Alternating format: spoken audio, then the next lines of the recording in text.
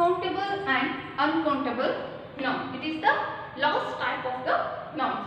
Countable means the noun can be counted. Nouns can be counted is called countable noun. Countable noun. Examples.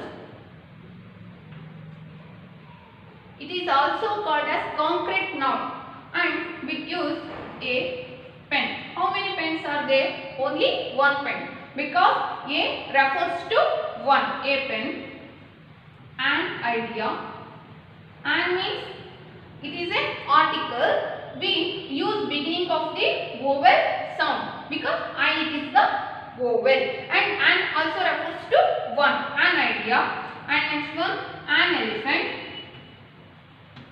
an elephant a house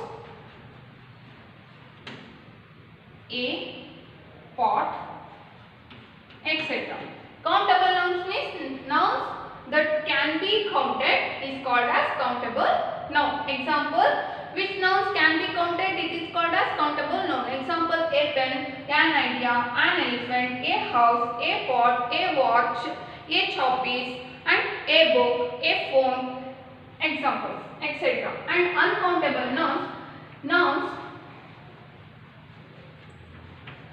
that cannot be counted cannot be counted is called as is called uncountable noun. Uncountable noun. Which nouns can be counted? That is countable noun. Which nouns cannot be counted? It is called as uncountable noun. Okay? Let us see the examples. Sugar. Is this possible to count the sugar? No. So, it is uncountable? No. And stars. Is this possible? count the stars in the sky? No, that is not possible. So, stars, it is the example for the uncountable noun. And coffee. We can count it? No, we can't count it. So it is uncountable now. and next one, uh, hairs.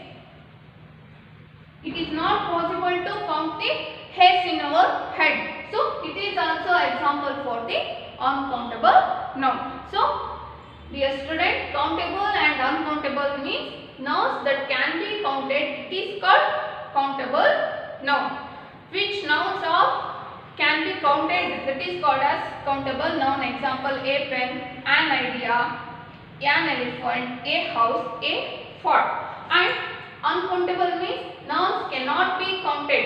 It is called as uncountable noun. Example sugar stars coffee hairs these all are example for the uncountable nouns. It is not possible for counting. So these all are example of the uncountable noun. Thank you.